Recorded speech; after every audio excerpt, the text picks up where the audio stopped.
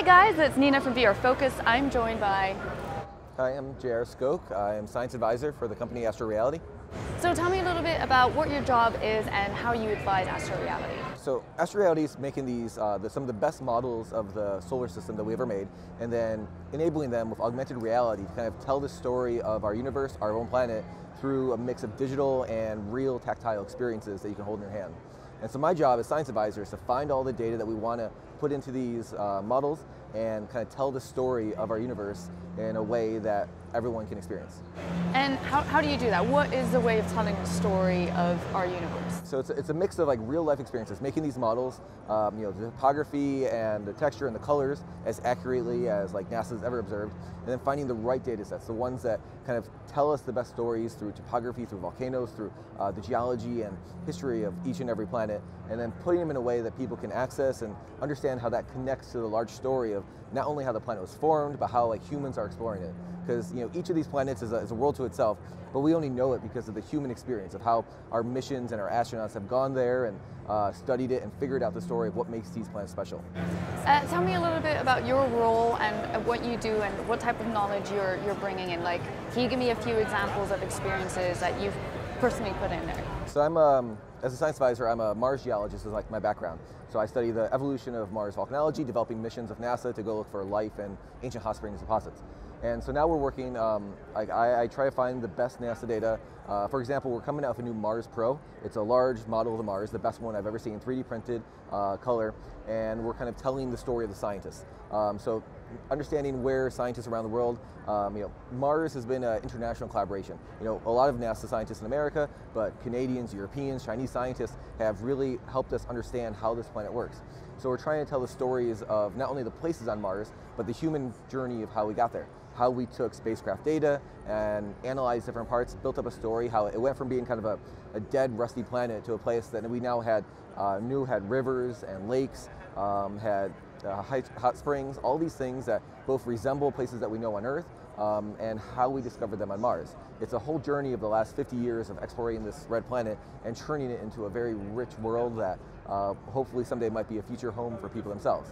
So I have my favorite places where I've spent my career studying. So uh, writing up these places, how I've studied them, how my colleagues have studied their favorite places, how we've gone traveling the world to find the most um, Mars-like places, uh, I study hot springs on Mars and have spent months in Iceland and Yellowstone and Chile going to some of the most remote hot springs on Earth, uh, learning how they work here and applying that data to Mars. So when we're building these rovers, building the missions to search for life on Mars, we know exactly what these features look like and can take the human story of exploration and take it to another planet.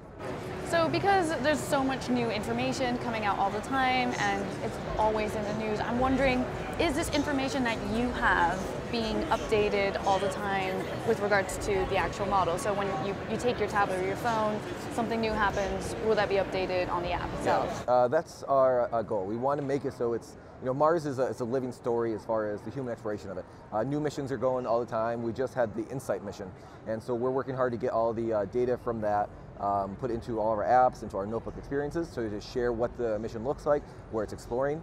Um, and then as the data is being processed and telling stories of it, we're going to put those new layers into um, our app and that experience. So that way, you know, people who have the app, have the, the globes, they get to join the journey as it's happening. As SpaceX starts sending more missions, as China, as all these private companies and nations keep exploring Mars, we want to have these uh, stories being told in real time.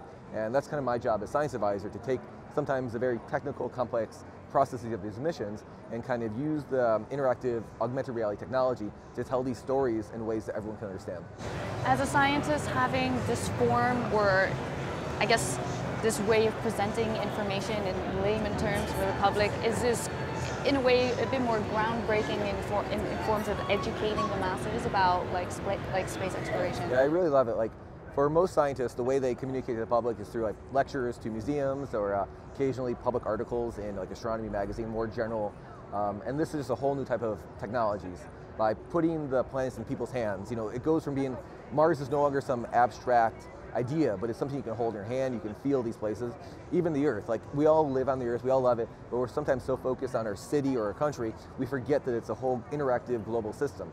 Even taking those global data sets, um, allowing people to feel that is just a really powerful thing. And augmented reality is such a, a new uh, technology and I, uh, you know, the content for it is still very much developing. So being on like the front lines of developing that technology, or using the content that we have and using this technology to reach people in a new way is just a really exciting way to diversify how we outreach to the public. Fantastic. Thank you so much for your time. Thank you. Head over to vrfocus.com if you want to find out more about VR or AR in this case, and I will see you in the next video.